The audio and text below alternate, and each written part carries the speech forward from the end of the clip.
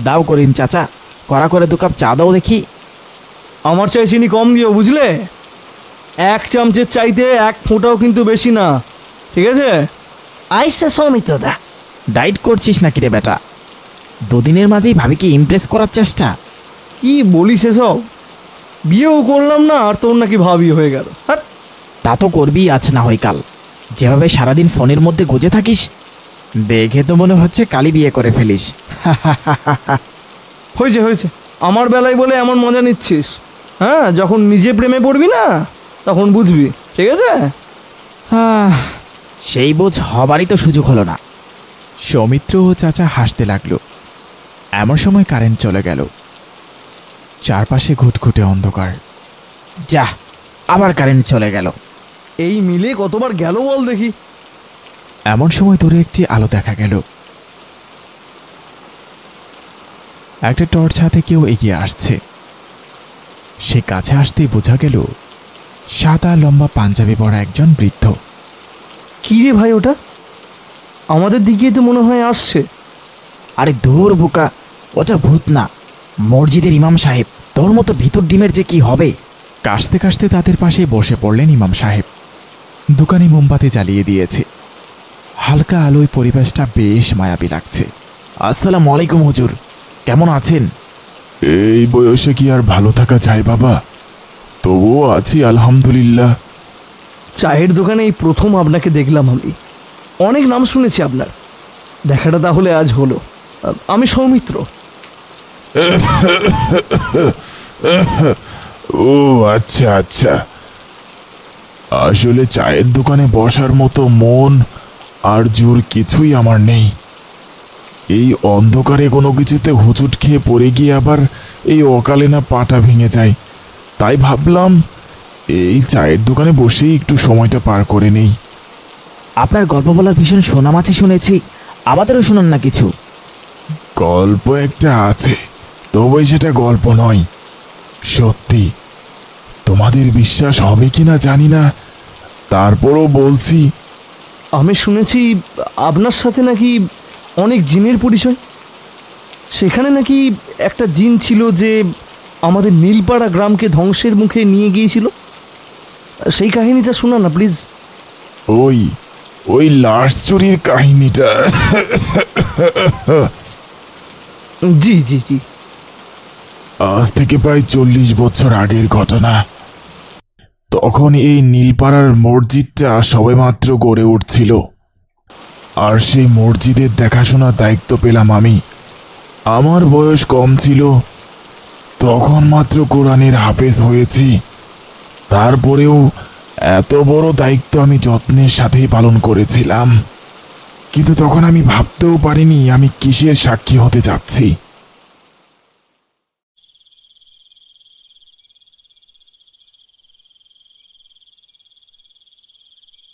রাতে একজন লোক সাইকেল চালিয়ে কবরস্থানের পাশ দিয়ে যাচ্ছিলেন।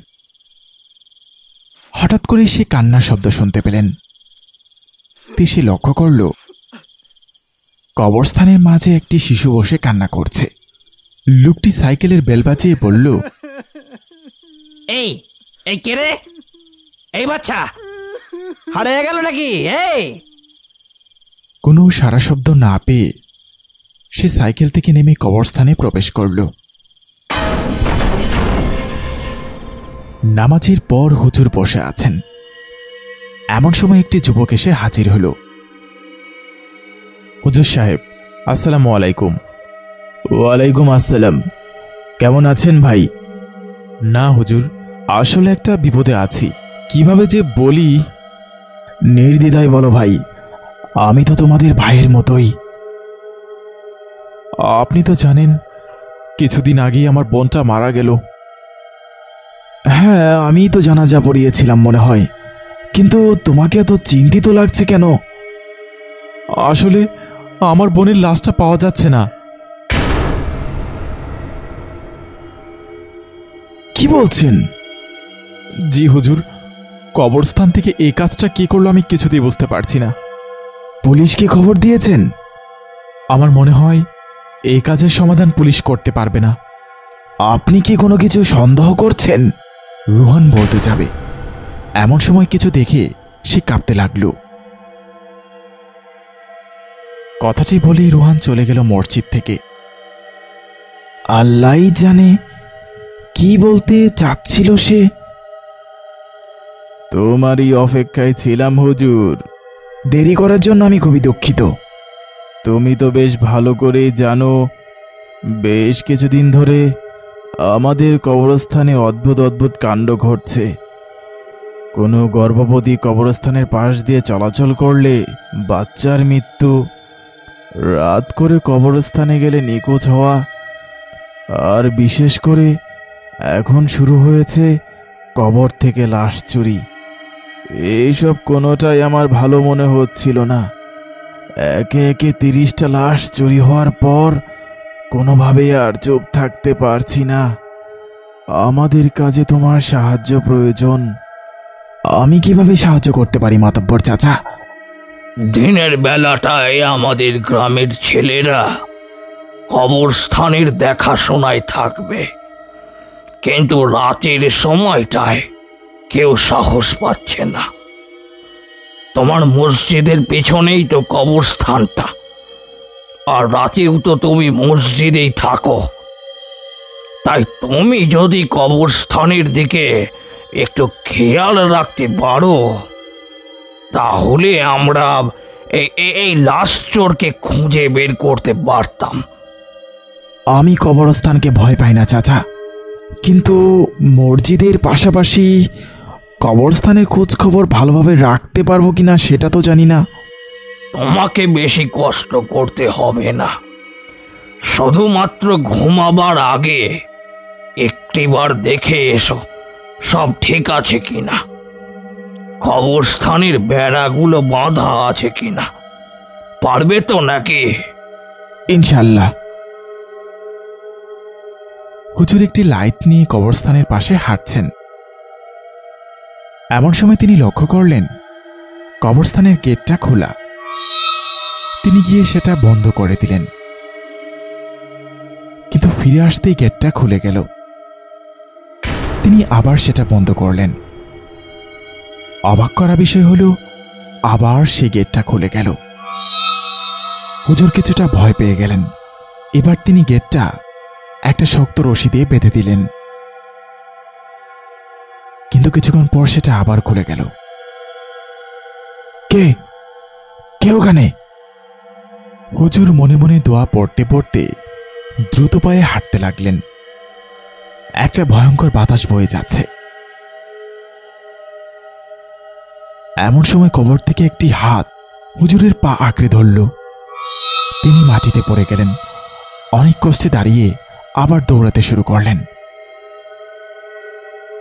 কোনোভাবে মসজিদের ভেতর প্রবেশ করে বুক ভরে শ্বাস নিতে থাকলেন। সকালে ফজরের নামাজের পর হুজুর কবরস্থানের গাছগুলোতে পানি দিতে গেলেন। যখন তিনি গাছগুলোতে পানি দিচ্ছিলেন, লক্ষ্য করলেন গাছগুলোর পাশেই কয়েকটি পাখি মরে পড়ে আছে। পাখিগুলোর শরীর থেকে রক্ত বেরোচ্ছে। ইন্নানিল্লাহ, কে করল এই পাখিটার সাথে অবিচার? হুজুর কবরখানা থেকে বেরিয়ে আসলেন। তিনি দেখতে পেলেন কবরখানার বাইরেই দাঁড়িয়ে আছে রোহান। আরে রোহান যে, হুজুর, কাল রাতে নাকি আপনার উপর হামলা হয়েছিল? মানে তুমি কীভাবে জানলে? তোমার চোখগুলো এমন লাল দেখাচ্ছে কেন? ঘুমাওনি? সে আপনাকে ছাড়বে না। আপনি এই ভয়াবহ কাজ করতে যাবেন না। আপনাকেও মেরে ফেলবে। কি বলছেন রোহান? আমি যা বলছি ঠিক বলছি। আমার বোনও পাঙ্গা নিয়েছিল ওই জিনের সাথে। তাই আজ ওর এই অবস্থা। আমাকে বিস্তারিত বলুন। না, হুজুর, আজকে আর না। বাতাস ভারী হয়ে এসেছে। আমি আপনার এখানে এসেছি, ও বুঝে গেছে। সে আমাকেও মেরে ফেলবে। আমাকে বাঁচতে দিন। ইনশাল্লাহ আমি আপনাকে কাল সব কিছু জানাব। আপনি সাবধানে থাকবেন।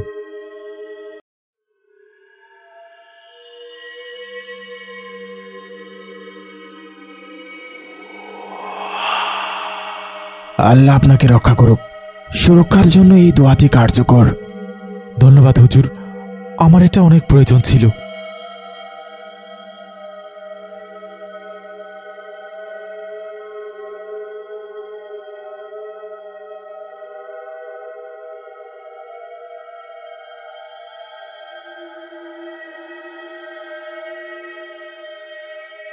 হুজুর ঘুমানোর চেষ্টা করছেন। পাশ ঘুরতেই দেখতে পেলেন এক কুচ্ছিত কালো মুখ। তিনি ভয়ে আতকে উঠলেন। তার বুকের উপর উঠে বসল সেই লোকটি। তারপর তার গলা টিপে ধরে তাকে মেরে ফেলার চেষ্টা করতে থাকল। হুজুর নিজেকে বাঁচানোর জন্য নানা রকম দোয়া পাঠ করতে লাগলেন। হুজুরের দোয়া পাঠের এক পর্যায়ে সেই কালো দেখতে লোকটি হাওয়ায় মিলিয়ে গেল। পরদিন সকাল হতে না হতেই রোহানদের বাড়ি চলে গেলেন হুজুর। তিনি দেখতে পেলেন বাড়ির সামনে আহত হয়ে পড়ে আছে রোহান। রোহান, কি হয়েছে আপনার? গতকাল রাতে সে এসেছিল, আমাকে খুন করার জন্য। নানা রকম ক্ষতি করেছে সারা রাত, কিন্তু সেই দোয়ার জন্য আমার কোনো ক্ষতি করতে পারেনি। সবাই আল্লাহর রহমত। আমি তো শুধুমাত্র আল্লাহ তালাকে ডাকতে শিখেছি। আপনাকে আল্লাহ বাঁচিয়েছে। কিন্তু এখন আর এক মুহূর্তের জন্য সময় নষ্ট করা যাবে না। আপনি আমাকে ভালোভাবে বলুন ঠিক কি হয়েছিল আপনার বোনের সাথে? কেন হয়েছিল? আমার বোনকে বেশ কিছুদিন থেকে জ্বালাচ্ছিল অদৃশ্য কোনো ক্ষমতা। প্রায় ভূতের ভয়ে থাকতো সে। একটা সময় তাকে মেরে ফেলল ওই ভূত। এরপর আমার মৃত বোনের দেহটাকেও শান্তি দিল না। থামুন আমার মনে হচ্ছে আপনি কিছু একটা লুকাচ্ছেন। ভূত বলে এই পৃথিবীতে কিছু আছে কিনা আমি জানি না। কিন্তু জিন সম্পর্কে কোরআনে বর্ণিত আছে। কিন্তু আমি যতটা বুঝতে পেরেছি গতকাল রাতের ওই জিনটা মোটেও মন্দ জিন ছিল না। আমার উস্তাদজি বলেছিলেন, জিনেরা প্রায়ই আমাদের সঙ্গে নামাজ পড়তে আসেন। আমি নিজেও তা অনুভব করেছি অনেকবার। আমার মনে হয় না তারা কোনো কারণ ছাড়া আপনার বোনকে হত্যা করেছে। আপনি বলুন, কেন সেই জিন আপনার বোনের উপর রাগান্বিত হয়েছিল? আসলে হুজুর, কৌতূহলবশত আমার বোন জিনদের বন্দি করা নিয়ে পড়াশোনা করছিল। আর সে চেষ্টায় কয়েকটা বাচ্চা জিনকে সে বন্দিও করে ফেলেছিল। তারপর দুর্ভাগ্যবশত জিনগুলো মারা যায়। আর তারপর থেকেই মৃত মানুষকে নিয়ে আমি কোনো সমালোচনা করতে চাই না। কিন্তু আপনার বোন একটি মস্ত বড় ভুল করেছে। তার গাফিলতির জন্যই তার প্রাণ গিয়েছে। কিন্তু সময় থাকতে আপনারা কাউকে জানালেন না কেন? তাহলে হয়তো অনেক মানুষ বেঁচে যেত। কিন্তু এখন আমাদের কি হবে? ধীরে ধীরে গ্রামটা একদম ধ্বংস হয়ে যাচ্ছে। আজকে রাতে আপনি আমার সাথেই থাকবেন। হুজুর এবং রোহান একসাথে বসে আছে কবরস্থানের পাশে। হুজুর সেই জিনকে আনার জন্য নানা রকম দোয়া পড়তে শুরু করলেন। চারপাশ অন্ধকার হয়ে গেল। এমন সময় উপস্থিত হলো সেই জিন। আজ তোরা নিজে থেকেই আমার জন্য অপেক্ষা করছিস? বাহ! আমি কোনো শত্রুতা করতে চাই না আপনার সাথে। আপনাকে টাকা হয়েছে সমঝোতার জন্য। কিসের সমঝোতা? আমি সব কিছু ধ্বংস করে নিজের প্রতিশোধ নেব। না এমনটা বলবেন না। আমি বুঝতে পেরেছি আপনার সাথে অন্যায় হয়েছে। কিন্তু যে আপনার সাথে অন্যায় করেছে, আপনি তাকে তার কাজে শাস্তি দিয়েছেন। এখন সে মৃত। তাকে আপনি ক্ষমা করে দিন। কিন্তু এই গ্রামের মানুষগুলো নিষ্পাপ। একজন মানুষের ভুলের জন্য সকলের শাস্তি পাওয়া উচিত নয়। নিষ্পাপ। আপনি কেন আমাদের পিছু ছাড়ছেন না? আমি কখনোই কারও ক্ষতি করিনি। ক্ষতি করেছিস তোরা আমার। আমি দীর্ঘদিন যাবৎ বসবাস করছি একটি গাছে, কিন্তু তোরা আমার বাড়ি ভেঙে ফেলেছিস। আমার প্রথম সন্তানকে মেরে ফেলেছে এক দম্পতি তাই আমি তাদের সন্তানকে মেরে ফেলেছি। শেষবার শেষবার আমার তিন তিনটে বাচ্চাকে একসাথে মেরে ফেলল ওই মেয়ে। ওই সুখ না সইতে পেরে আমার স্ত্রীটাও অসুস্থ হয়ে মারা গিয়েছে। আর এখন তোরা আমাকেই বন্দি করার চেষ্টা করছিস? আমার ঘর, পরিবার, সন্তান সবকিছু ধ্বংস করে দিয়েছিস তোরা। আমি এর বদলা নিয়েই ছাড়বো। আমাদের ক্ষমা করে দিন।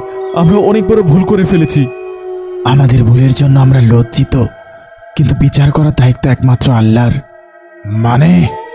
সৃষ্টিকর্তা নিশ্চয়ই প্রত্যেকের হিসাব নেবেন। প্রত্যেকের কাজের হিসাব প্রত্যেককে দিতে হবে। তাই বিচার করার দায়িত্ব একমাত্র আল্লাহর। আপনি, আমি কেউ কাউকে হত্যা করতে পারি না। কাউকে হত্যা করা মহাপাপ। তুই কি বলতে চাচ্ছিস? আমার সাথে হওয়া এই অন্যায়ের বিরুদ্ধে আমি কিছুই করতে পারব না। অবশ্যই সৃষ্টিকর্তা আপনাকে উত্তম প্রতিদান দেবেন। আপনি বিশ্বাস করুন, আমরা চেষ্টা করব এই গ্রামটাকে সুন্দরভাবে গড়ে তোলার জন্য। কেউ আর আপনাদের বিরক্ত করবে না। আমাদের একটা সুযোগ দিতে হবে আপনাকে। আমি সবসময় সৃষ্টিকর্তার অনুগত্য ছিলাম। হত্যার মতো এত বড় পাপ তোমরা করলেও আমি করতে পারি না। আমার বিবেক আছে। আপনি বুঝতে পেরেছেন? তার জন্য অসংখ্য ধন্যবাদ। এত এত কষ্ট আমাকে নষ্ট করে দিয়েছিল। অসংখ্য ধন্যবাদ আপনাকে। আপনি সত্যি অনেক ভালো একটা জিন। ভুলটা আমাদেরই ছিল। কিন্তু আমার একটা কথা তোমাদের রাখতে হবে। আমাকে যেন কেউ কখনো বিরক্ত না করে। তাহলে আমি আর কাউকে ছেড়ে দেব না।